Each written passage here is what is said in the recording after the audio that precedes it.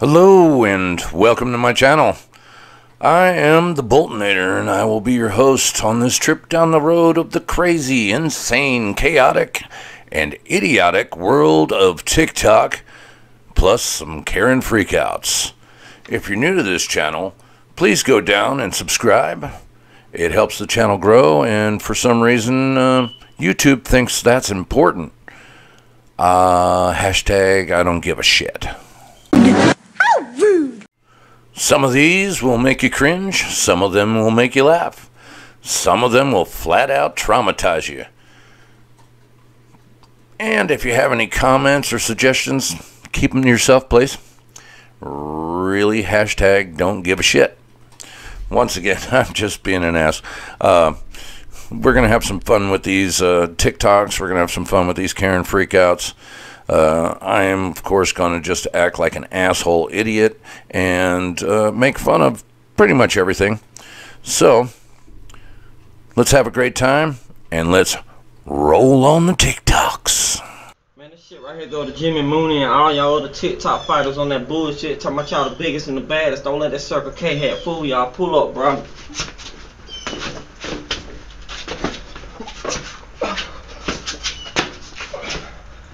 Y'all don't want this shit, none of y'all.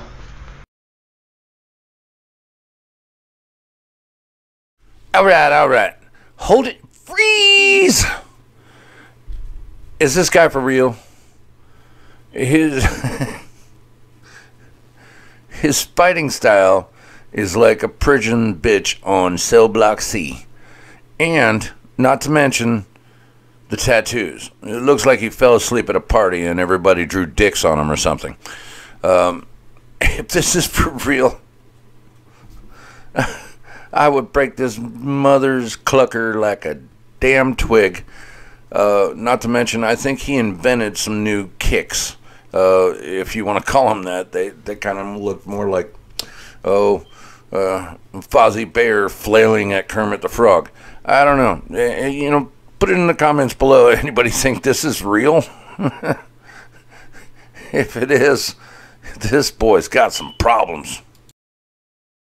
I just want to give a special shout out to all my ladies out there, especially the ones in Illinois. Shout out, ladies. Remember, Drew's Big Law. Snap. All right. This one I have uh, some reservations with picking on too much, but he sure does think he is an amazing ladies' man. Um, shout out! Shout out! to all them ladies out there, especially the ones in Illinois. Oh, it's too bad. He he kind of looks like a Mexican potato head with a really bad mustache. But let's move on, cause I don't want to pick on this poor guy with his fur coat too much. How dare you! Okay, guys, I'm gonna do crow. I'm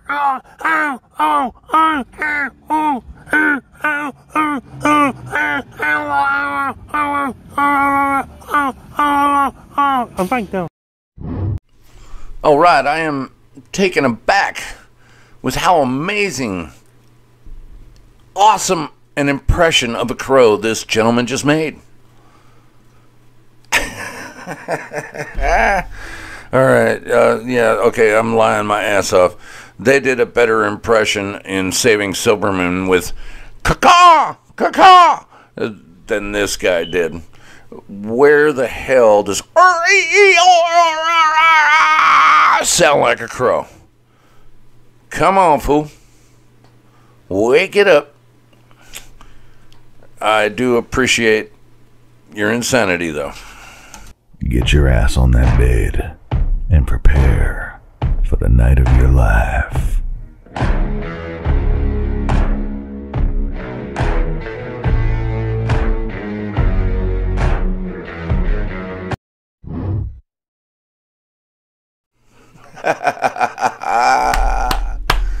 this guy is owning it. He's freaking hilarious.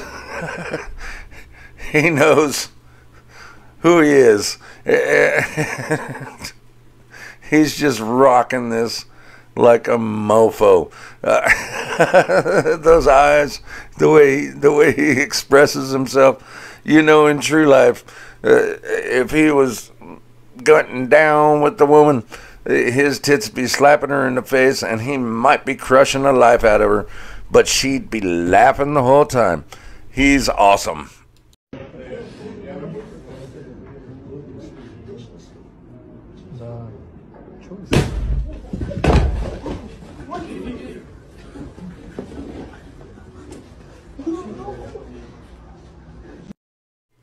Damn! You know, his friend set him up, and that guy was getting up and he was fixing to kick some fucking ass. That's why, like, three or four of them got up, like, Oh, you okay, bro? You okay, bro? He was ready to whoop some ass. That shit's messed up. Poor popcorn motherfucker. Alright, I know everything's been pretty humorous to this point. I don't mean to make everything take a downer, but we're gonna fill in a Karen video. I know, I know, fucking Karens. But this one, I have to give props to the air crew on this plane because this lady is crazy. And they handled it with the utmost respect and they're just awesome. Let's just roll it. I'm, I'm not sitting here. It is not safe. Do you understand? Ma'am, there is nothing. Do you understand? No, ma'am, I, I don't understand. You can't make me. I'm not sitting here. I work hard. I pay for my seat. It's clearly going to put my life in danger. All right, just to enlighten you all, she's freaking out because the guy in the seat next to her would not give her a vaccination card. So they're putting her life in danger because she thinks this guy is unvaccinated. Just to clarify the point. Okay, so you're gonna move him. That's how it's gonna be. I understand. Then move him. Ma'am, this is a full flight. I can't move anyone. Do you want me to call the cops? Do you want to lose your job? Do you? Because right now you're violating my rights as, as a citizen, as a human being. You're intentionally putting me in danger. I do not wish anyone to be in danger. Thank you, then move him, ma'am. This is the full flight. I can't move him. I, I, don't, I don't want to sit there. Do you want me to call people because they don't want to sit next to someone. He's, he's violating our rights and our safety. I asked him for his vaccine card, and he doesn't have one because he's not vaccinated. Hey, look, you can't do that. Travel, you have to have a mask and be vaccinated. Holy pussy twat. From hell, this woman needs to be flogged. I'm not wearing a mask condition. I have children. I'm fully vaccinated to protect them. You're intentionally putting my health at risk right now. If you wish to be on this flight, I need you to take a seat. Okay, that is a seat you paid for, and it's the only one of the. All right. Why do people fall for the rhetoric of if they're not vaccinated, they're intruding on the health of the vaccinated? She's like, I've been vaccinated to protect my children. But if you have the vaccine, doesn't that mean you're protected? Or at least that's what they say. So why would you worry about the unvaccinated giving you the disease if you're vaccinated?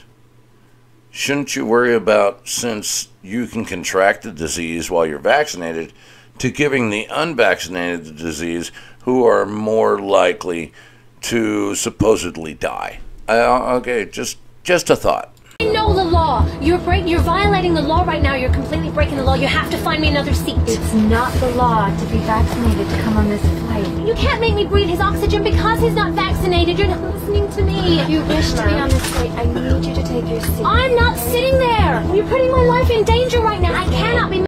Are y'all catching on to this? The lady is, how can I breathe his oxygen?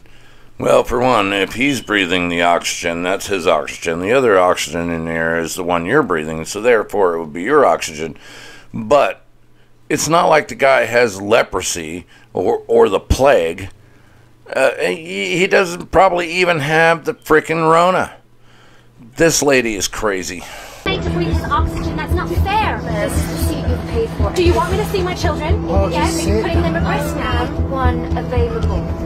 I don't want to sit there. He's not vaccinated. You're intentionally putting my life in danger. Ma'am, we are not putting your life in danger. I'm not gonna sit there. Ma'am, can you take a seat, please? No, I'm not sitting there. How many times do I have to say this?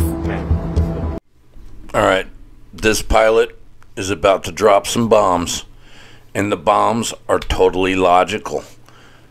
He is amazing. I would love that everybody thought like this. And he, he's just got the logic of a Vulcan. Check it out. I know how uh, how challenging air travel is these days, but there will be no discrimination on my aircraft. Well, it's not discrimination. Vaccinated or unvaccinated, we should respect each other. And as it seems, you have trouble doing that. Please Me? exit the aircraft. Encore! Encore! You are a god amongst men!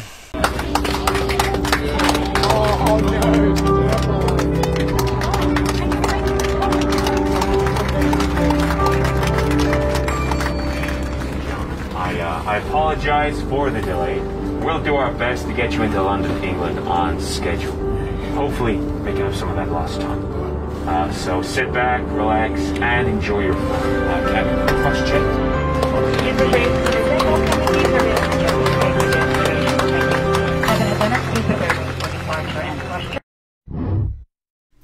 that is truly a hallmark moment. Uh, with all the craziness that the media and the government has inspired during this whole transition through the coronavirus, um, this is a truly uplifting moment. I have never seen a best handling of Karen. Um, and I'm so sorry if you're a nice Karen and you're unfortunately falling in the category of Karens because not all Karens are Karens, but that airline crew handled this with the utmost respect. Uh, yeah, he even respected her. I understand how grueling it is to deal with air travel these days but then he just fucking put her in check. Boom! That was awesome. I mean, awesome. All right, fools, check it out. I know the COVID's been dying down, but listen, still wear your mask. It's a lifesaver. My homeboy was out the other day with his side piece. His wife walked right by him, didn't even recognize him. Thing saved his life. Keep wearing your mask. This photo is totally hilarious, they say. And I'm pretty sure he put it on there for humor. But um, if it's real life, yeah, that's a fucked up thing. But I'm pretty sure this is for satire, see. Alright, we're going to wrap it up with this next guy. And I have run upon him before. He's probably been in one or two other of my shows. Uh, not the cringe ones, but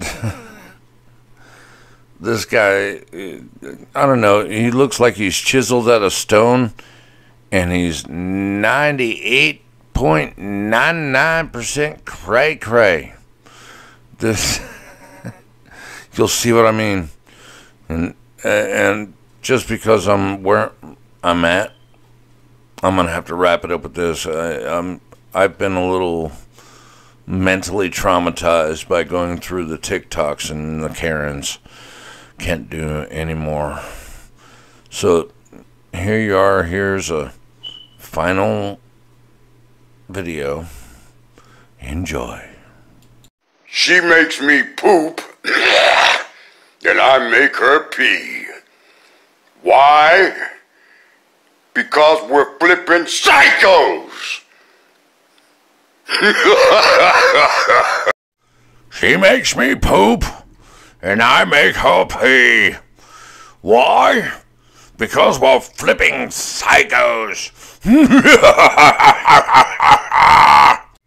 Serious question. Did I pull it off appropriately? Or did I do a horrible job? Comment down below.